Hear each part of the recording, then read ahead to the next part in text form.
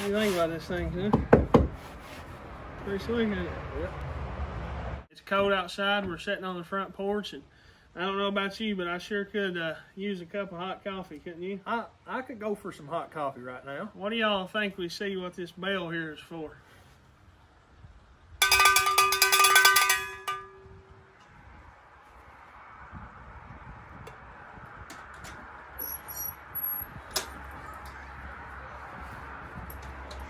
Oh, my goodness. Thank you. Thank you. Coffee on uh, delivery around here. This is better than Yes, Uber. So guys, we took and first started off by cutting your legs out of these 4x4 pine untreated posts. And the client wanted the table 32 inches tall, so we cut the post at 30 and a half inches. And with your tabletop on there, it'll be 32 inches. Then we got and cut our apron boards, and you know how I know those are called apron boards? I looked it up on Google. I was just calling them. I don't remember what I was calling them, but they're technically called apron boards, the boards that run on the sides underneath the tabletop. And uh, I'm sure some people out there is like me and didn't know that, so now you know. I took and drilled pocket holes in every one of the apron apron boards for the table, if I could get that spit out right. And after we had uh, seemed like a hundred pocket holes drilled in all the pieces and parts, we set the legs up, and it started looking like a table pretty quick. I took some scrap two by fours and made me these little jigs where I could hold the apron boards and start the screws by myself. And here you can see me doing that. Those jigs worked out really good for this, and uh, I, I actually put them on the shelf and keep those things around for future builds. You can just set the board right on those little jigs and get your apron boards lined up and get them good and square and uh, screw them right on.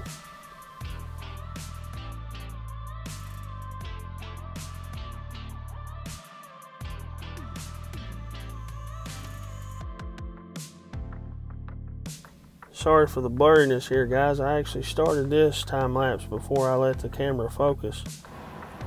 Alright guys, almost got the frame done. You see here, on these 4x4 posts that you get these days, the edges of all of them are pretty much barked. What I mean is they're not square corners. And that's okay for the farmhouse look because you want it to look rustic and old. But that way that there's not like a weird gap where the runner 2x4 runner meets the 4x4 post. I just set those in about 3 eighths of an inch. It makes it just look more symmetrical. Here's the top view. You can see how they're just set in 3 eighths to a quarter inch. And I just pocket hold them. I made them little 90 degree jigs to hold them there. I'm doing it by myself. And I'll probably go ahead actually and uh, put probably three two fours across, one in the middle, and divide the space up. Da da da da. Here, guys, you can see I got those center supports in. Since we're doing this rustic farmhouse thing, I am going to take the sawzall and uh, beat this thing up some. I'm just gonna get the oldest, most wore out wood bit I got. You can see that thing. It's uh, it's done its due diligence. It's wore out, and we're gonna beat this thing up some. When the client says rough it up, we'll rough it up.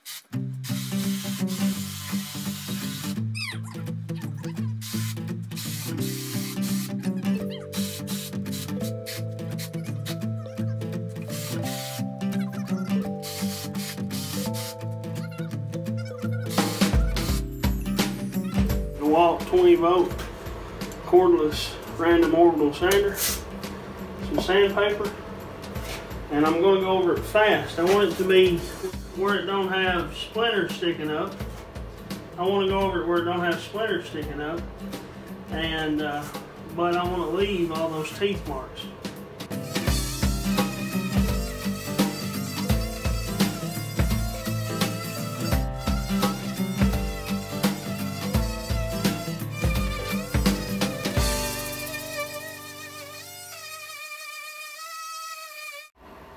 Alright guys, so I got the table frame done. I roughed it up, went over it with a sander pretty good. And now I am going to start on the bench. The client has ordered a 8 foot by 36 inch table, 32 inches tall, and then one bench to match the table. So I have two 2 by 10 by 8s. We'll cut those down to 82 inches wide.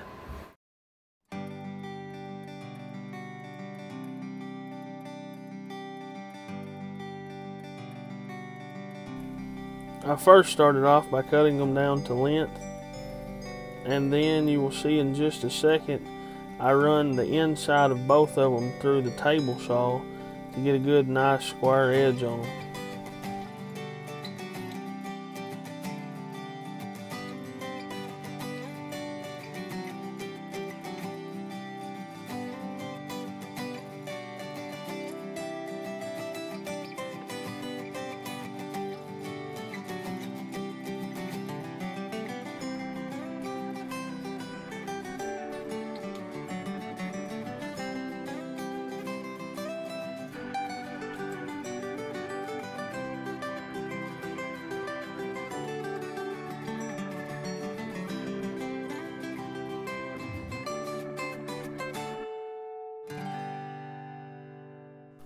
So here I am guys the next day and I am sanding off this bench top. I'm sanding off all the excess glue and uh, where I filled those holes with the sawdust and wood glue. Uh, there's a good tip out there if you don't know it. Uh, put a little wood glue in a hole and then dab it full of sawdust, let it dry and sand it off and it pretty much disappears. It looks really good. And then I roughed that top up with the Sawzall and then I rounded it over with a quarter inch round over bit bottom bearing mounted quarter inch round over bit on my trim router. Put a nice round edge on that bench top. And then I got straight to making the legs. I had some 2 by 8s laying around and I cut them down to the height I wanted. And then I ripped the inside edge off of those and I actually used my doweling jig to join these together.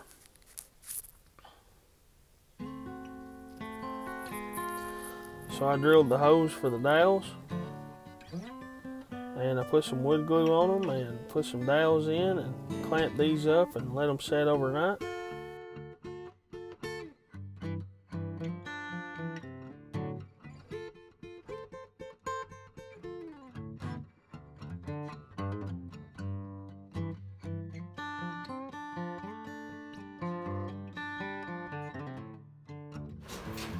Think I owe it to you guys to explain to you. I, by the way, it's another day of building. I got home from work and get back on this farmhouse table project. I explain. I need to explain to you guys why there's a bunch of random painting on this base and the legs to the bench. That is because the client, when we was talking about this build, said I want it to look farmhouse and I want it to look rough. I want it to look like it's been painted a hundred times and beat up. Is what he it is. I believe was his exact words. So I took a little charcoal gray stain, hit it here and there, and he said he liked that farmhouse like teal blue. So I got some spray paint of that. We went around and just painted here, there, and everywhere. And uh, it is what it is now. And now, uh, before I do the actual painting and staining of the top, we got to build the top. He also ordered some end tables. So before I do any uh, final painting with the white paint over all this, and then I'll rough it back up, I'm going to uh, go ahead and build my top and build my end tables. I want to get that stuff done, and then I'll clean this shop up, all the sawdust everywhere. And after we get it good and clean, then I'll spray this thing with paint. I'll hang some plastic up and spray it with paint. But before then, we need to clean this place up. Uh, so I want to do everything that I got to do as far as building and making sawdust because you, sawdust and painting something don't mix. Uh, you can't get a, which she wants it to look rough and farmhouse, but at the end of the day, I want it to look good. Your name goes with your work. So um, what I'll do is do all the building stuff first, and then we'll do the painting.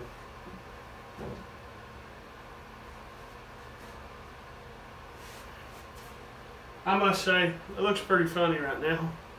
But it'll look good when we get done. We'll paint all this white, then we'll come back over it with some sandpaper, like some 220 sandpaper, and hit it here and there, and it'll show some of the blue through, show some of the gray through, and uh, it'll really come out looking good. Trust me, guys.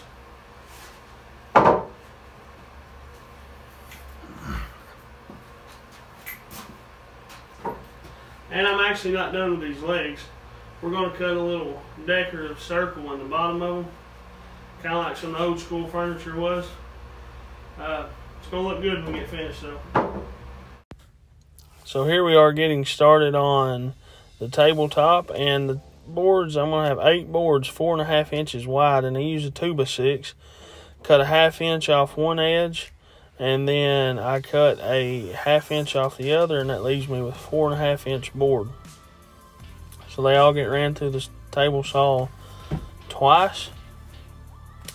And if you haven't seen my video on how to make a tabletop look rustic, or make a smooth board look rustic, I believe is the name of it, you guys look in the video description below and I will leave a link to that. And here I am randomly throwing sawdust on myself. For some reason I keep doing that. Don't understand why, but you know, video purposes, I guess you could say. I hit that like button because I did just do that because, you know, sawdust gets everywhere and it's actually no fun to do it, but I continue to keep doing it, so you guys hit the like button and subscribe to the channel if you would. Go ahead and throw a plug in for that. So the wife and girls come out and join me, and after I got those roughed up, you should definitely watch that video in the description on how I did that after you watch this one. And uh, I joined four of those at a time, pocket hold them together, and wood glued them. So instead of me trying to do all eight of them at once, like I hope you understand that I did four boards and then four more and let those dry and then I join those two pieces together the next day.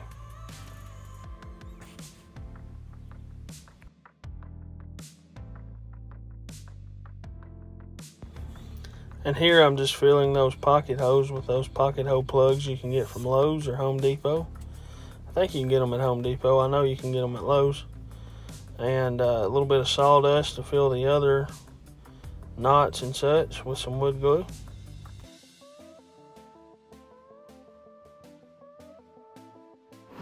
So guys, I just got home from work. We're getting ready to take these two tops and glue them together. I glued those boards together four at a time.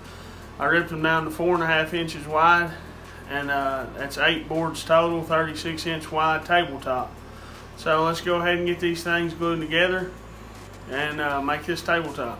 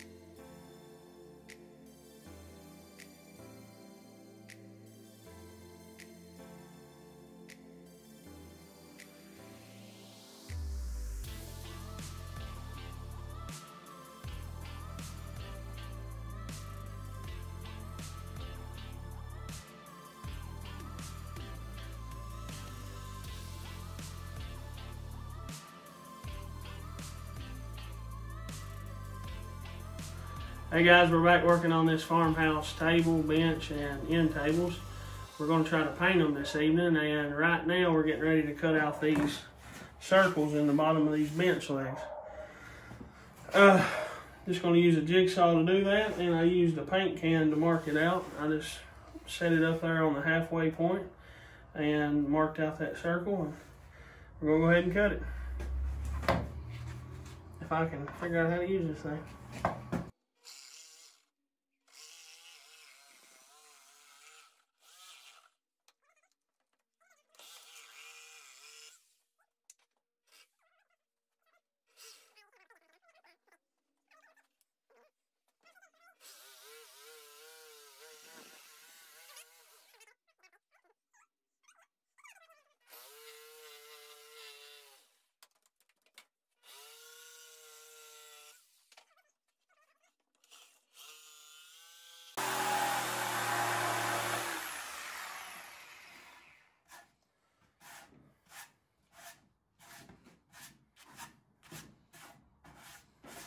So I got one of these little flap discs that go on the drill here, and I'll just clean this up and smooth it out with it.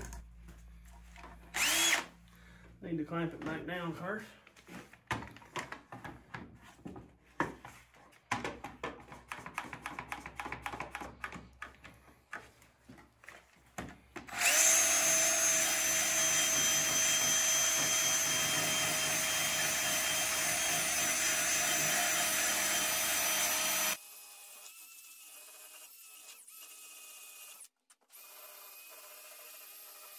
So guys, I got the plastic up over here. I'm going to try to stand on this side over here and spray towards this way.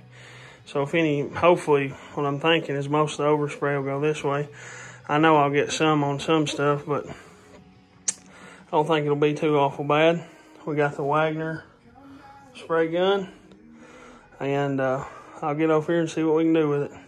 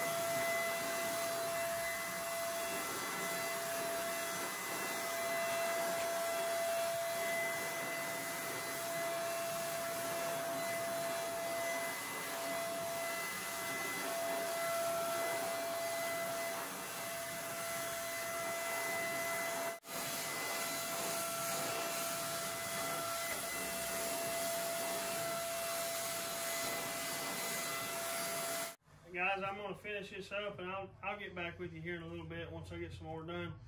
The building is so small, it's kind of hard to video and paint at the same time. Thank y'all for watching. Painting is now complete.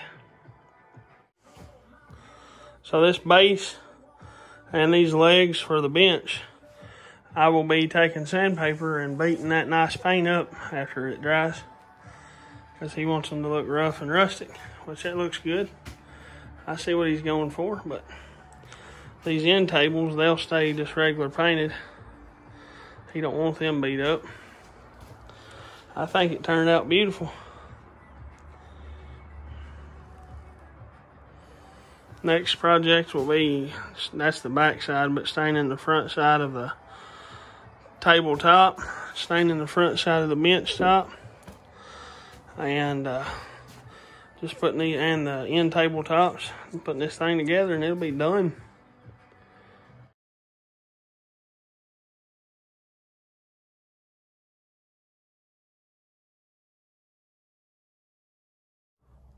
So I'm getting ready to uh, stain all of these at once, hopefully. Uh, let me show you guys what I'm doing. I'm going to be trying to stain the tabletop, the bench top, both end tabletops, and the lower sections for the end tables. I'm going to try to stain all of those at once. The stain that the client chose is a Minwax semi-transparent Honey 272 for the color. And we're using a premium water-based polyacrylic crystal clear top coat. That will be in a clear matte finish. We don't want nothing shiny on this thing. But with that, guys, let's get to staining.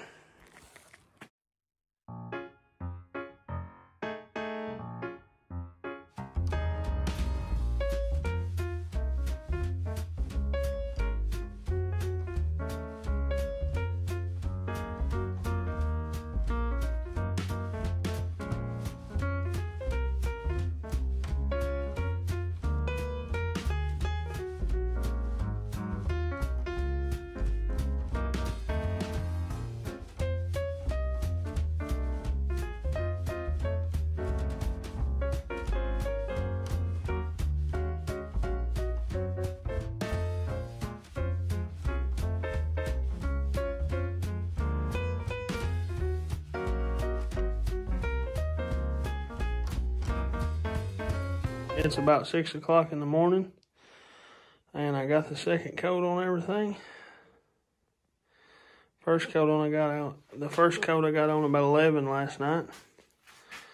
And then I came out this morning at 6 and lightly sanded it with 220 grit sandpaper and put the next coat on.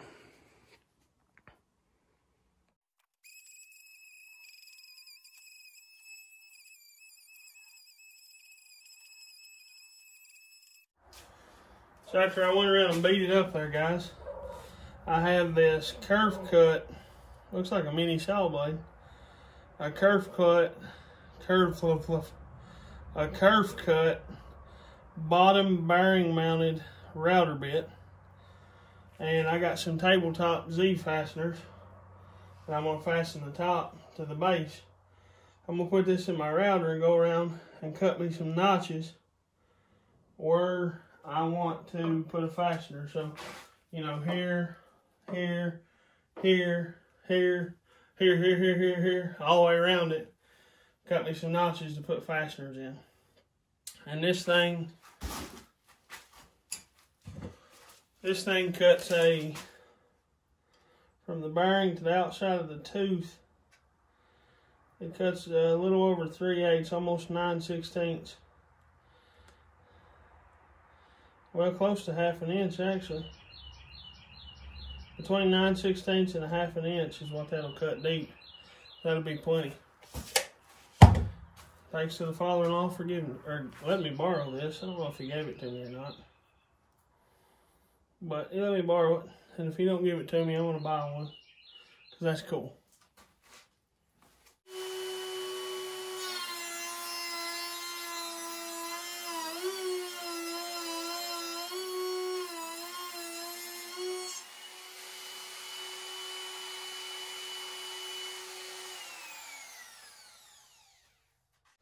So we cut us a trowel over here. And what we'll do is, we'll get us a fastener. And we'll act like this is our tabletop. And we're going to fasten this turned around so you spect spectators can see it.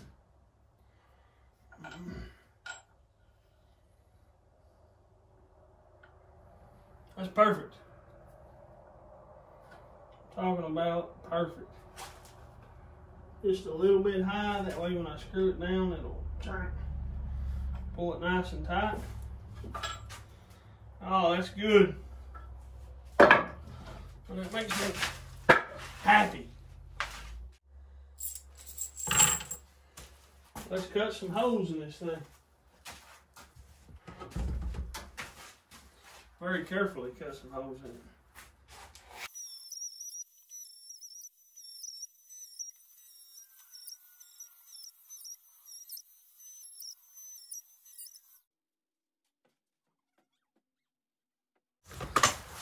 Hi to the wife, guys. Thanks for helping, baby. Thanks for helping. I got you. I got you on camera.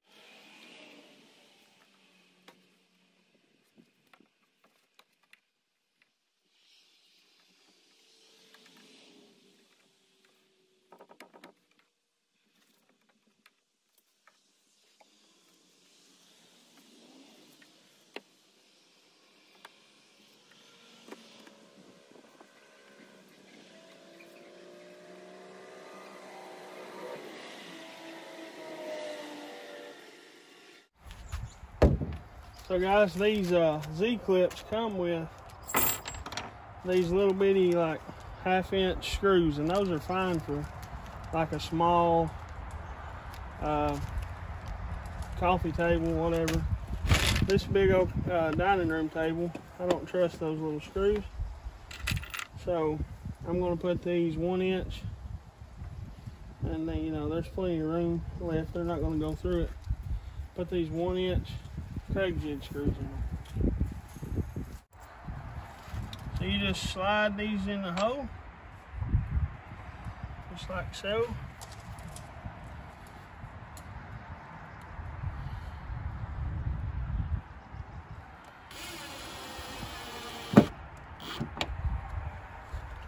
And do that several more times.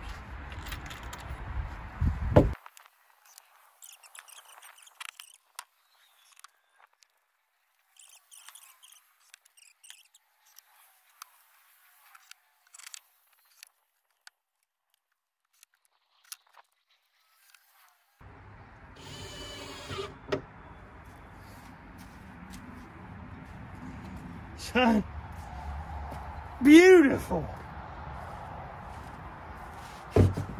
That's all I know to say sometimes. Beautiful.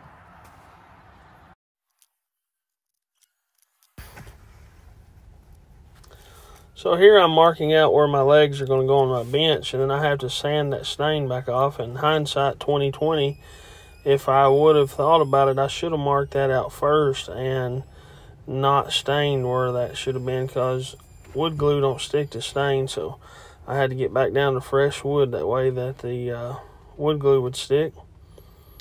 And I just took and put some pocket holes right in those legs. And after I screwed them on, I touched the pocket holes up with paint. And unless you're a very small person who lays down under benches, you'll never see those pocket holes after I touched them up with paint. Then I just attach those to the actual bench top itself. And each each leg has six two and a half inch pocket hole screws in it. And then there's the paint. Just touching up all the uh, where I drilled those holes for the pocket holes.